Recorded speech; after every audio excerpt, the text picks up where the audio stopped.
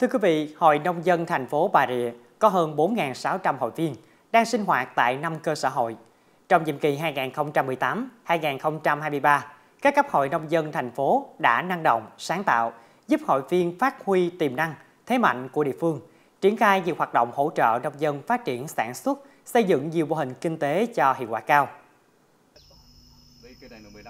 Tại xã Long Phước, 5 năm qua, Hội Nông dân xã tích cực vận động hội viên, nông dân chuyển dịch cơ cấu sản xuất, mạnh dạng trồng thử nghiệm các loại cây trồng mới và ứng dụng tiến bộ khoa học kỹ thuật nhằm nâng cao năng suất cây trồng vật nuôi. Bên cạnh đó, hội cũng tiếp nhận vốn quỹ hỗ trợ nông dân các cấp, giúp cho 5 hội viên vay thực hiện 5 dự án trồng trọt và chăn nuôi bò sinh sản. Tôi có vay bên à, quỹ hỗ trợ nông dân của thành phố là 50 triệu để à, chăn nuôi bò cái à, cái cái cái nguồn chăn nuôi này cũng phù hợp với kinh tế của gia đình nên chị à, tôi vừa à, buôn bán nước giải khát và phụ thêm là chăn nuôi bò nên thấy nó cũng ổn định kinh tế. À, sau khi như vậy là có cái chủ trương chung của hội nông dân tỉnh như vậy là có cái quỹ để cho nông dân phát triển sản xuất thì gia đình tôi như vậy là cũng có cái vay 50 triệu.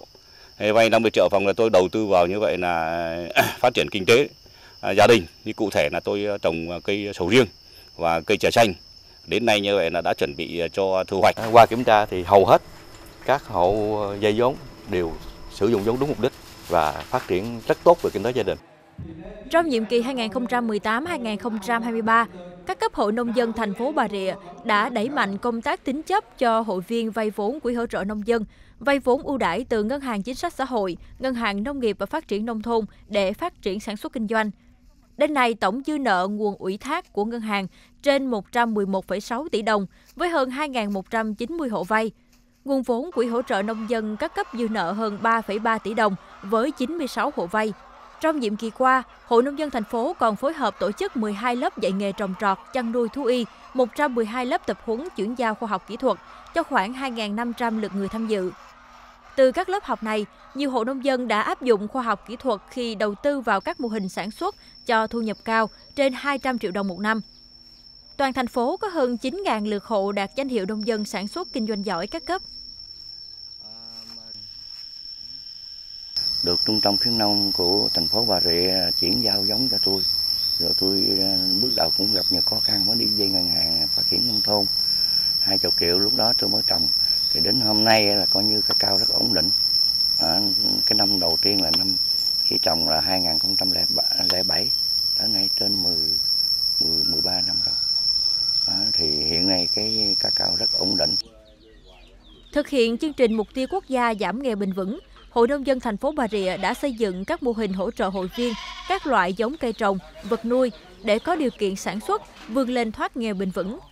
Trong nhiệm kỳ, hội đã giúp 278 hộ hội viên thoát nghèo. Căn cứ vào tình hình thực tế của địa phương, à, phát huy vai trò của hội viên nông dân à, tham gia phát triển kinh tế à, nông nghiệp nông thôn đời sống vật chất tinh thần của hội viên nông dân ngày càng được nâng cao qua đó đã thể hiện